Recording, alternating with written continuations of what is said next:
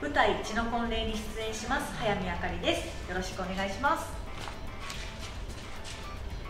えー、遊びたくはないけど見るなら海。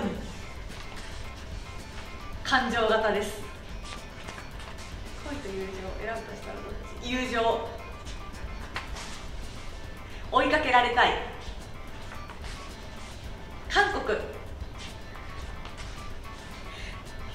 られた出来事は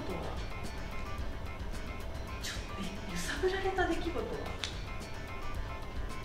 感情があ自分の出演している映画をあの劇場で見たこと。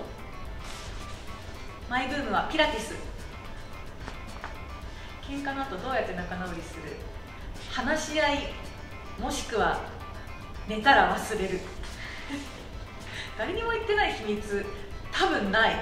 ないです。甘党辛党。辛党。好きな季節冬。愛とは人生において必要なもの。はい。人生において必要なものって今言いましたけどもう本当にそれが詰まった作品に愛愛とは何かというものをねあの見ていただけると思うので私も頑張りたいと思います。ぜひ劇場にお越しください。お待ちしています。